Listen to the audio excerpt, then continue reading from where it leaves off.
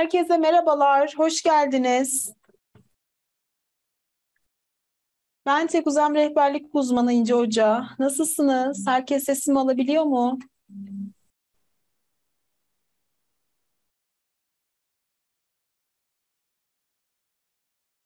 Güzel. Kimler hangi sınava hazırlanıyor? Biraz kendinizi tanıtır mısınız?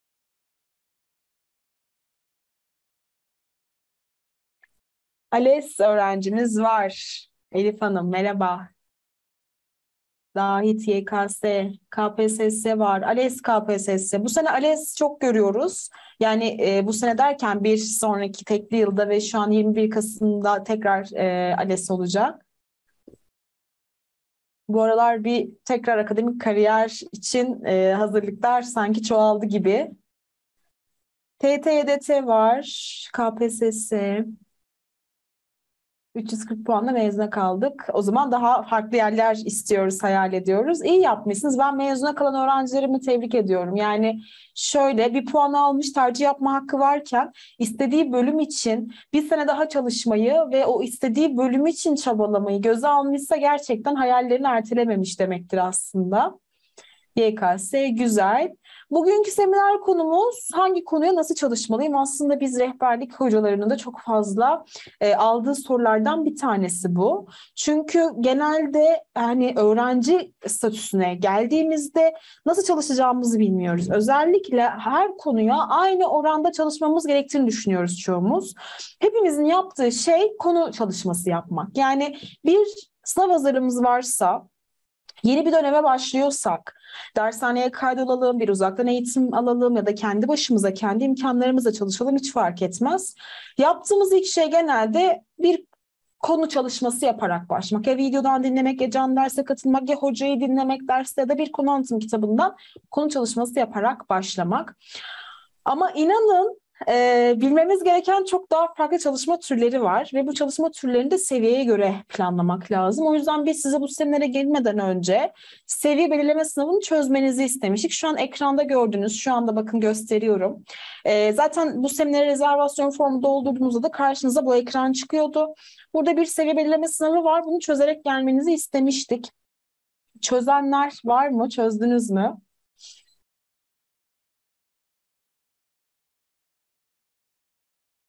Ya da çözmeyenler kimler? Çözdüm ya da çözmedim yazabilirsiniz. Çözmeyenler için önerim e, mutlaka bunu çözmeniz. Hepinizi açtık çünkü. Ücretsiz katılacaksınız bir de buna. Düşünsenize bir sınav hazırlığına başlamadan önce seviye belirleme sınavı çözerek başlayacaksınız. Seviyenizi göreceksiniz. Çözmeyenlerin buradan girip çözmesini öneriyorum. Ücretsiz çünkü. Bundan sonra ne değişecek hayatımızda peki? Şimdi arkadaşlar benim anlatmak istediğim bu şu aslında. Her konuda, her alt konuda hatta bir seviyemiz var. Biz bu seviyeleri beş ana statüye ayırıyoruz. Temel seviye, başlangıç seviyesi, orta seviye, ileri seviye ve üst seviye olmak. Bir merdiven basamağı gibi düşünebilirsiniz. Buna göre de yapacağımız çalışmalar değişiklik gösteriyor. Yani örnek veriyorum matematiğin temel kavramlar konusunda. Bir öğrencimiz temel seviye çıktıysa, yani temeli bile yoksa bu öğrencimiz o konuya ön hazırlık yaparak başlaması gerekiyor. Başka bir öğrencimiz aynı konuda başlangıç seviyesinde çıktıysa o öğrencinin ön hazırlığı atlayıp konu anlatımı yaparak başlaması gerekiyor. Başka bir öğrenci o konuda orta seviye çıktıysa yani bir temeli var konuya da hakim o zaman zaman kaybetmemek adına ön hazırlığı da elemeli, konu anlatımını da elemeli direkt tekrar yaparak başlamalı. Bir örnek daha verelim. Başka bir öğrenci aynı konuda ileri seviye çıktıysa o zaman biz ona diyoruz ki ön hazırlığı boş ver. Konu anlatımı yapma. Tekrar da yapma. Soru çözsen ileri seviyedesin. Zaten her şeye hakimsin. Bir tık daha ileri gidiyorum.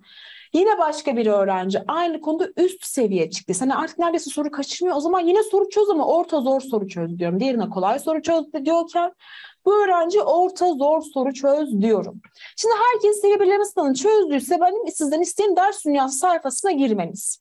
Çünkü biz TEKES yapay zeka panelimizi oluştururken seviyenize göre çalışma türlerini de oluşturduk. Biraz sonra sunuma geçip sunumda da bunu ayrıntılı olarak anlatacağım arkadaşlar.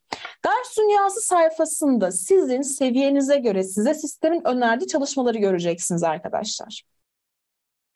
Seviyeyi nasıl belirleyeceğiz? Yeni geldim. Seviye belirleme sınavını çözerek Elif Çağlı biraz önce gösterdiğim ana sayfadan seviye belirleme sınavı var. Hepinize açtık biz bunu. Zaten çözemeyenler için ben buraya hemen bir numara bırakacağım.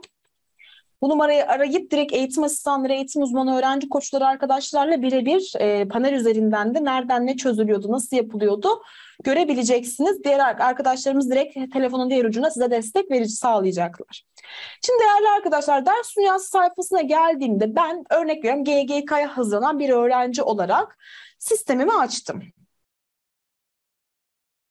Ses problemi, sistematist arkadaşım, ses problemiyle alakalı yazılı bir bildirim geçebilir miyiz?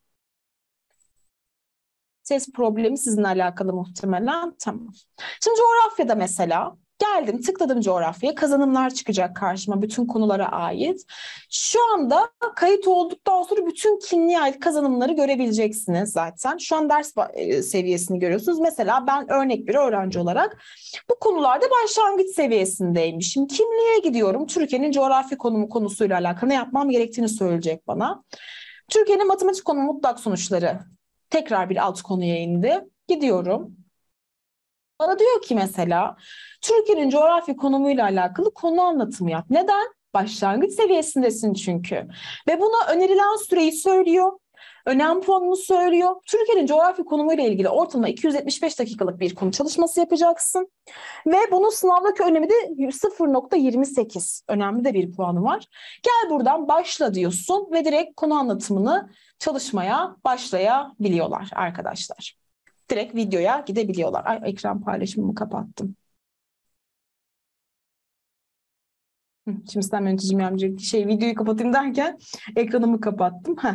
Bugün ne öğreneceğiz? Arkadaşlar bugün coğrafi konum ana başlığı. Bunun gibi mesela direkt kul başla dediğim anda sistem otomatik olarak beni bu çalışmayı yapmaya göndermiş olacak. Tamamladığım anda da tamamladım butonuna tıklıyorum ve benim bu çalışmayı yaptığımı artık sistem görüyor. Bu herkese böyle mi geliyor? Şimdi senin seviyene göre işte bu yüzden seviye belirleme sınavını çözün diyorum. Acaba sen hangi konuyu nasıl çalışacaksın, ne yapacaksın? Bak mesela ben şimdi konu anlatımını tamamladım ya sistem bana Sao bir, bir tık seviye atladın sen orta seviyeye geçin detaylı tekrar yap o zaman tekrar çalışması yapmalısın diyor. Buna göre tekrar gidip tekrarımı yapıp çalışmayı tamamla diyebiliyorum.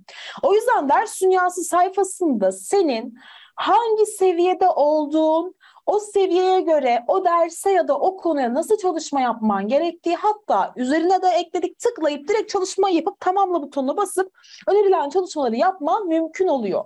Böyle bir panel hazırladık sizler için. Yine Vatandaşlıkta mesela ben seviyemi güncelliyorum. SBS'yi çözdüm. Ee, ama işte vatandaşlıkta bir tık seviye atladım mesela.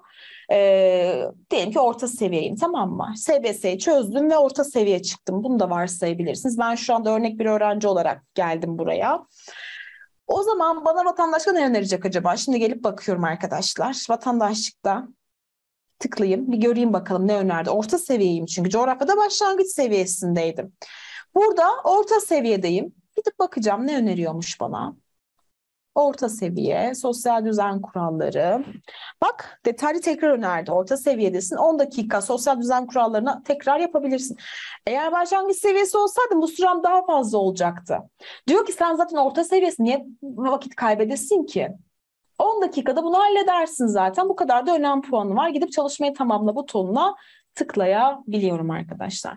Ders dünyası kısmından seviyenizi ve seviyenize göre yapmanız gereken bütün çalışma türlerini takip edip çalışmaları tamamlayabiliyorsunuz ve bu tamamen kişi özel çalışıyor. En güzel kısmı burası. Yani sizin için, ALES için de tabii ki ben sadece örnek olarak KPSS'yi göstereyim. YKS, LGS, ALES, DGS, KPSS hepsi için geçerli. Hangi sınava hazırlanıyorsanız. Burada senin seviyene göre ne çalışması yapman gerektiğini söylüyor. Birçoğumuz yetiştiremiyoruz. Fark ettiniz mi bilmiyorum. Sınav hazırlık sürecinde sınava son gün kalıncaya kadar hala konu bitiremeyen öğrencilerle karşılaşıyoruz. Çünkü herkes konu çalışmaya çalışıyor. Tekrarı çoğumuz unutuyoruz. İstediğimiz kadar soru çözemiyoruz ya da bazılarımız konu çalışıyoruz, çalışıyoruz, hiçbir şey anlamıyoruz. Çünkü önce bir ön hazırlık yapmamız gerekiyor. Bir temel atmamız gerekiyor. Temel bilgileri öğrenip öyle gelmemiz gerekiyor. Ama bunları bilmediğimiz için hangi konuda hangi seviyedeyim, hangi çalışma yapacağım kafamız burada o kadar çok karışıyor ki çok karıştığı için de ya süre yetiştiremiyoruz ya da yapmamız gereken gerçek çalışmayı yapmıyoruz. Bazılarımız mesela hayır ben şu anda GGK konuşmuyorum Vedat Bey. Direkt sınav hazırlığını konuşuyorum. A grubu için gelmişsiniz. Ben örnek öğrenci olarak GGK açtım kendime. Bu A grubu için de var. Biraz önce söylemiştim. ALES, DGS, KPSS bütün sınav grupları için bu sistem uygulanabiliyor. Benim demek istediğim hangi e, seviyede hangi çalışma yapmanız gerektiği. Siz SBS'yi çözdünüz mü mesela? Sizden yola çıkalım. Seviye sınavını çözmüş müydünüz?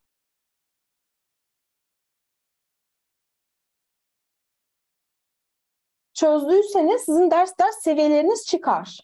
Seviyenize göre de örnek veriyorum işte hani çözüp gelseydiniz sizin seviyenize göre hangi çalışma yapmanız gerektiğini konuşabilirdik ama bugün çözerseniz bugün de nereden gidip göreceğinizi gösteriyorum. Gidip ders dünyası sayfasında muhasebede mesela orta seviye mi çıktınız? O zaman sistem size diyecek ki Vedat Bey muhasebeden tekrar yapın.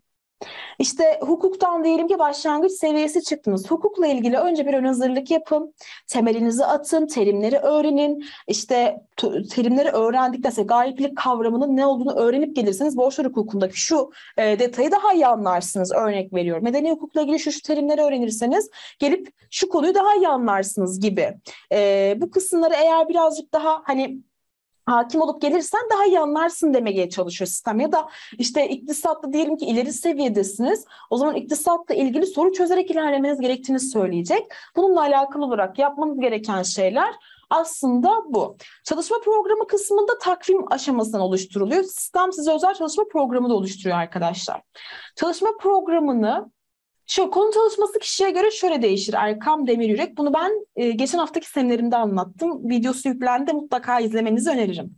Sisteme biz bir eğitim analizi koyduk. Hemen takvimi anlatacağım. Bir dakika şuna cevap vereyim önce.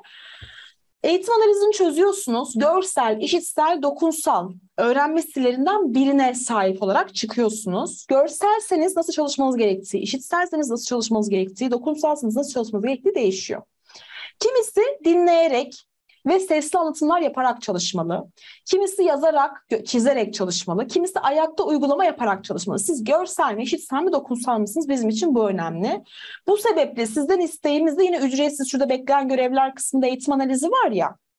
Şunu çözmeniz. Bu ücretsiz çözdükten sonra zaten ne çıktığınız ve nasıl çalışacağınız Heh, o zaman gidip hemen çalışma önerilerine bakın ve size özel seminerler butonuna tıklayın şuraya. Orada zaten görürsünüz nasıl çalışmanız gerektiğini. KPSS hakkında detaylı bilgi veriyor musunuz? Sorduğunuz tüm sorulara cevap veriyorum tabii ki KPSS ile alakalı. Seminerimizin konusu KPSS ile alakalı bilgi semineri değil ama sorularınız olursa tabii ki cevaplarım. Şimdi çalışma takvimi oluşturma kısmımız var bir de. Sistemimiz size özel bireysel çalışma programı hazırlıyor. Bu programı hazırlarken de yine sizin seviyenizi baz alıyor. O yüzden SBS'yi çözmek çok önemli. Çünkü herkese aynı programı vermiyoruz biz. Ve buna şiddetle karşıyız. Herkesin seviyesine, çalışabileceği süreye, sınava kalan süreye, günlük çalışacağı saate ve öğrenme yapısına, unutma yapısına, unutma hızına göre program hazırlanması taraftarıyız. Bu yüzden takvim oluşturma butonuna tıklayıp kendinize özel bireysel program oluşturabiliyorsunuz. Ben buraya GGK'yı tekrarlıyorum örnek olsun diye koydum. Hangi sınava hazırlanıyorsanız zaten o sınava ait eğitimleri göreceksiniz. Buraya örnek veriyorum. Bu öğrencim şu an tarih, matematik ve Türkçe'de çalışmaya başlamak istiyor. Kaydet diyor. Sonrasında saat seçiyor. Diyelim ki günün her saati sabah 10'la işte e, akşam üstü 16'ya kadar çalışabiliyor tüm günler. Ekle diyor. Oluştur dediğim anda tamamen benim seviyeme özel, sınava kalan süreye özel, öncelik belirlemesi yapılarak konuların öncelik puanına göre biraz önce önem puanı göstermiştim. Her konu eşit düzeyde önemli değil. Bir tanesini mesela 275 dakika çalışıyorsun %10 önemli. Bir tanesini 10 dakika çalışıyorsun %20 önemli. Dolayısıyla sen gidip de %20 e, önemli olan 10 dakikalık çalışma önceliklendirebilirsin. Sınava kalan süre azaldıkça. Bunun gibi e, takvim oluşturma kısmında bana detaylar veriyor ve bu şekilde bir takvim oluşturmuş oluyorum. Gördüğünüz gibi başlangıç seviyesinde olduğumla alakalı konu anlatımı, mola sürelerim. Hatta üzerine direkt tıklayıp çalışmaya başla deyip videoya da gidebiliyorum bu şekilde. Ama mesela sistem bana dedi ki daha önce çalışmadığım konular mevcut. Neden? Çünkü ben ta gittim şunu çalışmak istedim. Diyor ki bir dakika dur bak bunlar var sırada önce. Bunları öğrenmeden onu öğrenemezsin ki. O yüzden sen gidip bugün cuma ya buradaki konuları önce çalışmanı istiyor. Sistem yapay zeka olduğu için bayağı bir akıllı çalışıyor arkadaşlar. Şimdi bunun dışında panelle alakalı sorularınız var mı? işlemediğimiz konuları çalışmamızı tavsiye etmesi sizce normal mi diye bir soru geldi. Şimdi işlendi olarak girdiğiniz takdirde zaten o konuları önünüze getirmeme ihtimali var. Ama zaten biz bu panelde sadece işlediğiniz dersleri çalışmanızı istemiyoruz ki. Çünkü can ders akışınız devam ederken bir yandan da can dersinize kadar altyapı kazanmanız, tekrarlarınızı yapmanız vesaire gerekiyor. Siz burada eğer dersleri o şeye uygun seçersiniz. Örneğin siz neyle başladınız? Matematik ve tarihle mi başladınız? O zaman sadece o ikisini seçmelisiniz. Sadece onların ilk konularını önermesi için. Ama siz gidip de Türkçeyi işlemeden Türkçe seçerseniz o zaman Türkçe önerir tabii. Yani sizin seçimlerinize göre değişmiş oluyor. Şimdi ben bir de sunum kısmına geçeceğim. Burayla alakalı sorusu olan var mı? Bir yandan da sunumu ayarlasın arkadaşlarım ya da ben şöyle açabilirim. Hı.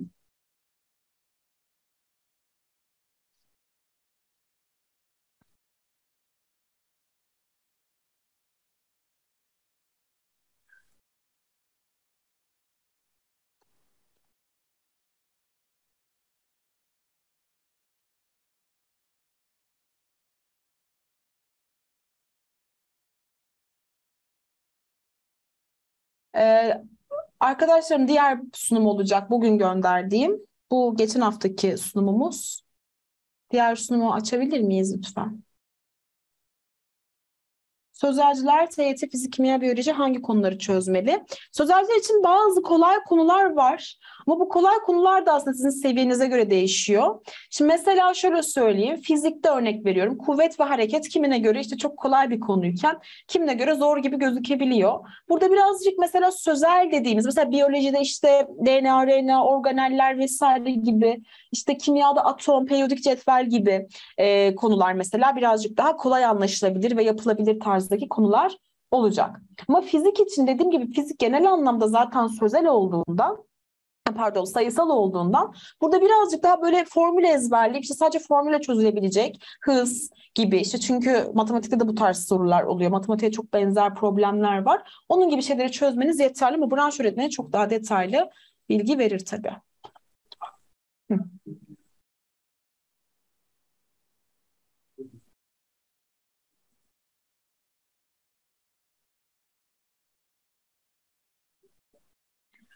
Kastettiğim şu aslında konuş konuları karmaşık çalışmamız. Karmaşık değil aslında bizim sistemdeki kazanım sırasına göre. Şimdi biz bir kazanım sırası belirledik ve bu kazanım sırasına göre de e, bizim hocalarımızın ayarlamış olduğu bir konu işlenme sırası var. Şimdi can ders akışında farklı konularla gidebilirsiniz ama can derste devam ederken bir yandan da sizin altyapınızı kuvvetlendirmek adına sistem e, önceliği puanı yüksek olan daha kısa sürede öğrenebileceğiniz ve altyapınızı geliştirmek adına fazlasıyla katkı sağlayacak konuları da önünüze getirebiliyor. Yani can derse birebir uyumlu konu dağılımıyla gitmiyorsunuz. Can ders akışınız devam ederken bir yandan da sistemdeki videolarla altyapınızı kuvvetlendirmiş oluyorsunuz.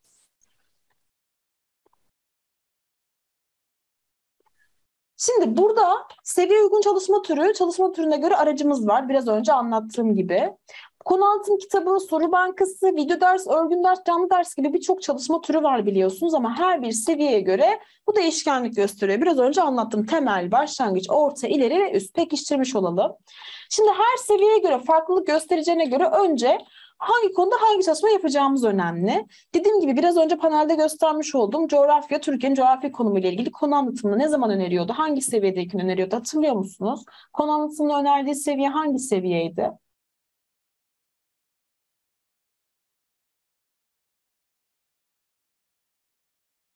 Hatırlayanlar var mı? Başlangıç evet. Muhtemelen bu konuda başlangıç seviyesine çıkan bir öğrenci konu anlatım öneriyor ve başlayıp direkt videoyu izlemeye başlayabiliyor. Temel seviyede olduğunu ön hazırlık öneriyor. Ana, amacım ne? Neden bunu yapıyorum? Çünkü temeli yok bu öğrencinin ve konu anlatımdan önce temel sağlamak istiyorum. Bu yüzden ön hazırlık yaptırıyorum. Nasıl yapıyorum ön hazırlığı? Ön hazırlık videosu izleyebilirim. Ya da kendi başımayken de Basit bir konu anlatımlı kitaptan da ön hazırlık yapabilirim. Başlangıç seviyesi dediğiniz gibi konu anlatımlıydı.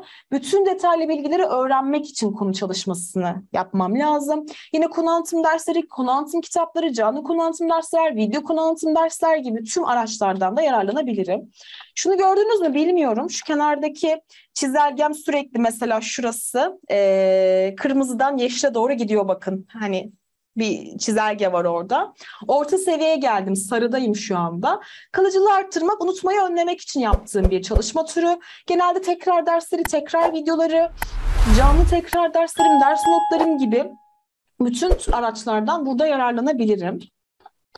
İleri seviyede de kolay soru çözmem isteniyor. Artık bakın yeşile, açık yeşile geldim. Artık konuları öğrendim. Tekrarla kalıcı hale getirdim. Sorularla pekiştirme yapmam lazım. Yine çözümlü soru bankaları kullanabilirim. Kolay seviyeli soru bankaları, soru çözüm videoları, canlı soru çözüm dersleri, örgün soru çözüm dersleri gibi araçlardan da kolay soru için yararlanabilirim. Sonra bir de üst seviye orta zor soru var. Sınavda gelebilecek tüm sorular karşısında tatbikat yapabilmem için aslında yani zor sorulara da aşina olabilmem için önerdiği bir tür. Artık üst seviyeye gelen öğrenci öneriyoruz bunu. Burada çözümlü olmayan, kendi başınıza çözebileceğiniz sorular yani destek almadan çözmeniz lazım. Zor, mutlaka soru bankalarından yararlanın, yaprak testlerden yararlanın, deneme sınavları, çıkmış sorular, canlı örgün soru çözüm dersleri de bunlar da örnek olarak gösterebileceğimiz e, kaynaklar diyebiliriz arkadaşlar. Yani seviyeme göre çalışma türüm değişiklik gösteriyor ve buna göre çalışma araçlarım da değişiklik gösteriyor. Eğer seviyeme göre çalışırsam daha başarılı, daha verimli olmuş oluyorum. Ben bu sene sadece GGK çalışarak atanabilir miyim? Kamu yönetimi okuyorum demiş Beyza Nur. Hayır tekli yılda sadece GGK çalışarak sadece tek bir istisna var. Polislik alımları. Holistik alımlarında KPSS puanına esas alıyorlar. Bunun için de e, lisans için söylüyorum. Zaten ön lisans orta öğretim yapılmıyor biliyorsunuz tekli yılda. GGK yapılıyor tekli yılda ama öğretmenlik ve KPSS A grubu puanı hesaplansın diye yapılıyor normalde. Onun dışında kamu yönetimi okuyorsan Beyza Nur, KPSS A'ya girmen, GGK artı KPSS A'ya girmen daha sağlıklı. Soru bakıyorum yukarıda kaçırdığım sorular var mı diye.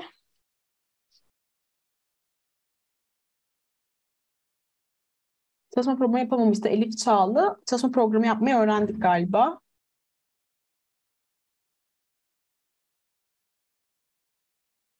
Bu sistem bu arada ücretsiz e, deneyebiliyorsunuz arkadaşlar. Kamu dışı alımlar için girebiliriz sanırım.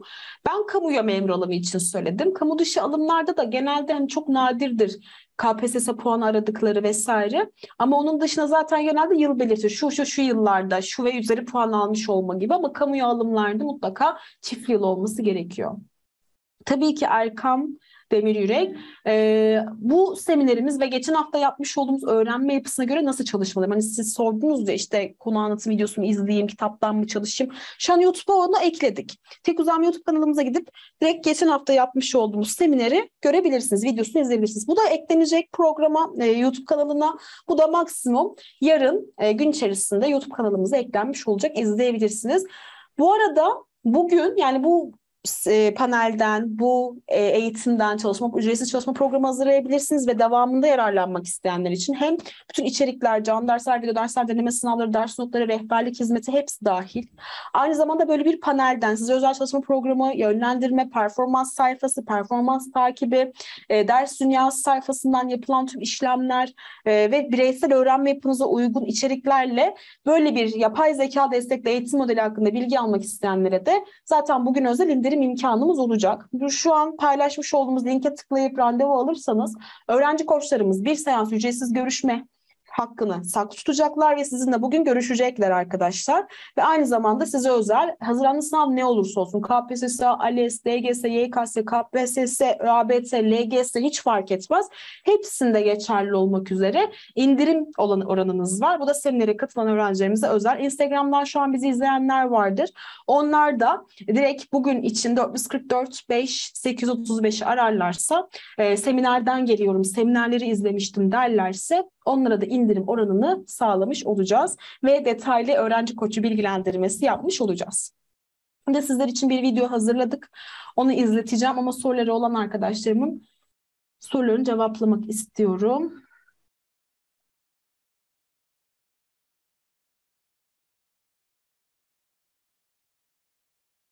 Heh, birisi konu bitimlerinin seviye sınavı olacak mı? Aynen güzel bir soru sordu Muhammed Talip. Doğru. Biz mesela size demiştim ya e, şuraya hemen küçük bir şey çizmek istiyorum. Şuraya çizeyim.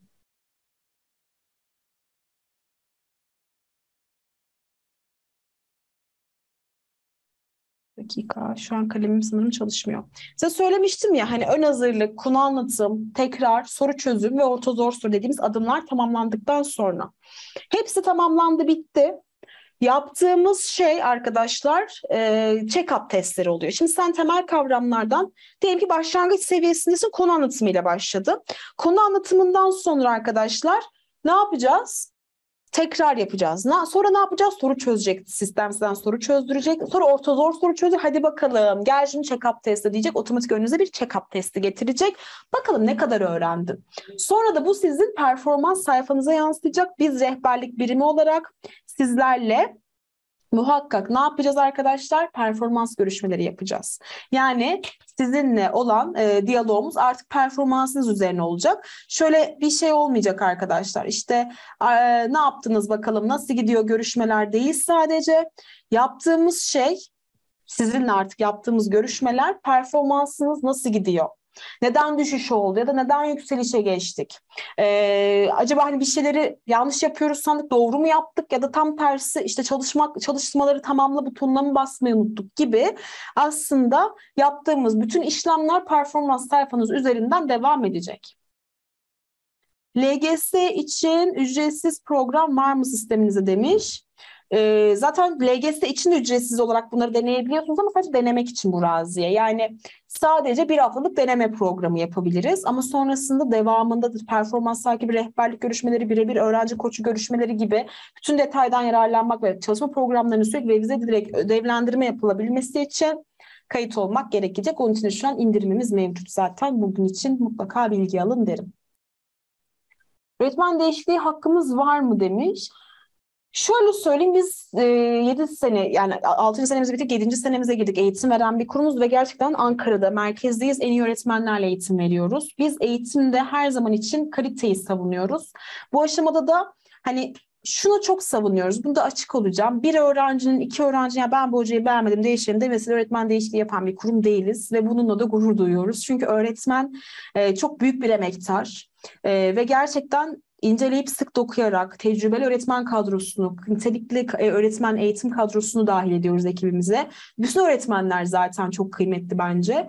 O yüzden böyle bir durumda öğretmen değişikliği bize çok e, doğru gelmiyor ama şunlar var sistemde. Tabii ki değerlendirme anketlerimiz var. Dönem içerisinde bol bol sizlerle anketler yapıyoruz. Nasıl bulduğunuzla alakalı, e, işte teknikle alakalı, rehberlik sistemi, öğretmenlerle alakalı, disiplinle alakalı vesaire sizlerden dönütler alıyoruz. Bu dönütlere göre de dönem ortasında ya da dönem sonunda aldığımız dönütlerin oranları çok önemli. Yani bir sınıfta 20 kişi var. Bu 20 kişinin yüzde kaçı bunu söylemiş. Buna göre sizlerle birebir görüşmelere başlıyoruz. Görüşmelerden sonra ortada eğer bir sorun varsa, çözülemeyecek bir problem varsa tabii ki bu problemde sizlerin e, o problemle devam etmesini istemiyoruz ve önlem alıyoruz. Her dahil sait evet konu testlerimiz var. Şu an SBS'miz var. SBS çözebilirsiniz. Sonrasında ise yaptığımız sizden istediğimiz çalışmaları tamamladıkça check-up testlerine gireceksiniz. Detaylarla alakalı bilgilendirme görüşmesi yapacağız. E, bu linke tıklayan arkadaşlarımızla zaten e, dediğimiz gibi eğitim koçuyla bir seans ücretsiz görüşme hakkından yararlanacakları için öğrencilerimizle detaylı sistemin çok daha detaylarını görüşebileceğiz. Şu anda link paylaştık. Bu linke tıklayıp randevu almanız durumunda sistemin tüm detayları ve indirim hakkı ile alakalı detaylı bilgi verilecek. SBS önceden yapmışım tekrar mı yapmalıyım? Yani o zamanki seviyemiz güncel olduğunu düşünüyorsak tekrar yapmamıza gerek yok. Ama seviyemizin değiştiğini düşünüyorsak SBS'yi tekrar çözmeli ya da ders dünyasından seviye güncellemesi yapabiliriz. Örneğin matematikte biraz ilerlediğinizi düşünüyorsunuz. Temel seviyedeydiniz. Başlangıç seviyesine çıktığınızı düşünüyorsunuz artık. Ön hazırlıklarınızı yaptınız. O zaman ders dünyasına gidip tekrar SBS çözüp hani sizi şeye sokmamıza gerek yok böyle tekrar bir e, bu strese gidip hemen güncelleme yapabilirsiniz. SBS çözmeyecekseniz tekrardan yani öyle bir vakit ayırmak istemiyorsanız panel üzerinden şuradan e, göstermiştim herhalde size arkadaşlar. Biraz önce gösterdiğim panel vardı ya Bu panel üzerinden de e, ders dünyası sayfasına gidip bakın şurası. Buradan mesela matematik dediğim gibi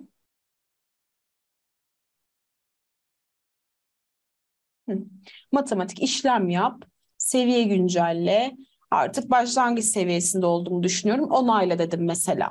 Bunun gibi bu işlemleri yapabilirsiniz arkadaşlar. Bu kısım önemli. Ama gidip SBS çözmek isteyen tabii ki çözebilir. Ama ben sadece zaten çözmüştüm hocam. Ee, işte özel ders aldım. işte bir şey yaptım ve matematik seviyem arttığını düşünüyorum. Şimdi tekrar gidip çözmek e, zaman kaybı gibi gelebilir size. O yüzden buradan bunu yapabilirsiniz. Ya da hocanız size bir sınav yaptı. Bir tık artış var sende dedi mesela. Bir karar merci bunu söyledi. Gelip buradan da güncelleme yapabilirsiniz.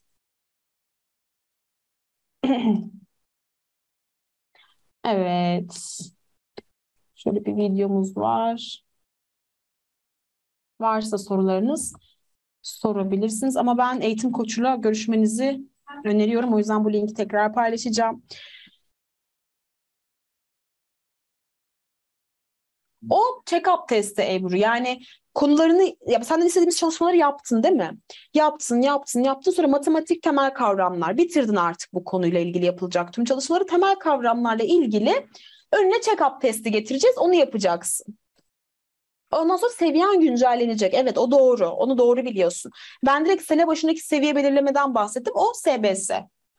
Ama dönem içerisinde başladıktan sonra çalışmaya yaptığın tüm çalışmalar tamamlandıkça temel kavramlarla ilgili her şeyi yaptın en son sorunu çözdün hop check-up testi. Sonra ikinci konuya geldik yaptın yaptın her şey tamamlandı hop check-up testi gibi seviyeni ölçeceğiz ve seviyeni ölçükçe de çalışma programı buna göre revize edilecek.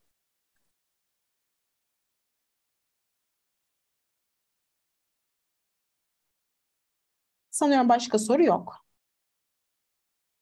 ALES ile ilgili genel bilgi. Yani onu ALES seminerimizden izleyebilirsiniz Elif Hanım. Şu an Tek Uzam YouTube kanalımızda ALES e, seminer yazınca çıkar.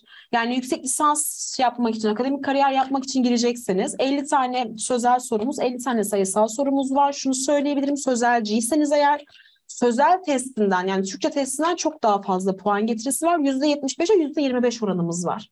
Yani sizin puanınız hesaplanırken Türkçe testindeki e, doğru cevaplarınızın %75'i yani netlerinizin matematikte %25 alınacak. O yüzden Türkçe testindeki sorular çok önemli ama matematik yapmadan da yüksek puan alınmıyor. Yine mutlaka matematik yapmaya çalışın zaman arttırabilirseniz. Bir de Türkçe testinde dil bilgisi yok. Sadece okuduğun anlama, paragraf ağırlıklı, man sözel mantık, cümlede anlam, sözcükte anlam konularınız bu. Dil bilgisi falan çalışmanıza gerek yok. Haftalık olarak hazırlanıyor Hilal. Yani haftalık olarak güncelleniyor aslında programın. Biz bunları yapmadan check-up olmayacak. Niye olsun ki? Şimdi check-up kontrol değil mi Ebru? Şimdi sen gidip hiçbir şey yapmadığın zaman niye check-up yapalım ki zaten sana? Check-up kontrol demek. Ha sen sene başında SBS'ye girmen lazım. Konu konu ölçüyor. O da senin dediğin gibi matematik konu konu ölçüyor. Türkçeyi konu konu ölçüyor. Sene başında önce bir hiçbir şey yapmadan bir ölçüyoruz. Sonra sana ödevlendirme yapıyoruz. Bunları yap seviyene göre. Bunları yap seviyene göre. Sen hiçbir şey yapmazsan check-up gelmez. Ee, ama sen zaten yapıp oraya tamamla, yapıp tamamla dedikçe gel bakalım ne kadarını öğrendin diye sana check-up testi getiririz. Yani panel yapay zeka akıllı sistem olduğu için böyle çalışıyor. SBS sadece DİKAP'tan gidin. GGK eğitim bilimleri içinde girebilirsiniz tabii ki.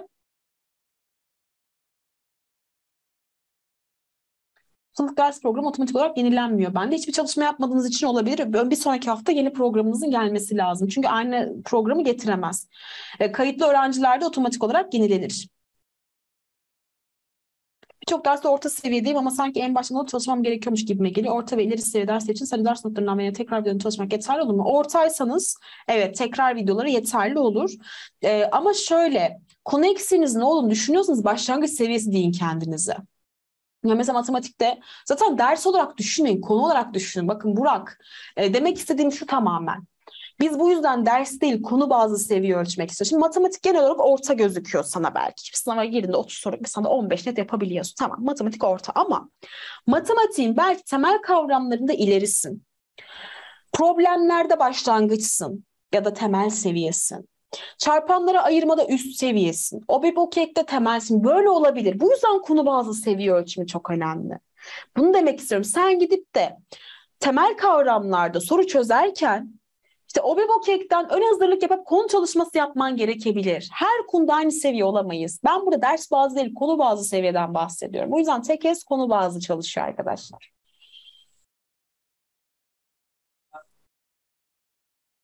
Ebru Hanım, GGK eğitim tanımı mutlaka bir görüşün. Ben şuraya tekrar çağrı merkez numaramızı yazayım.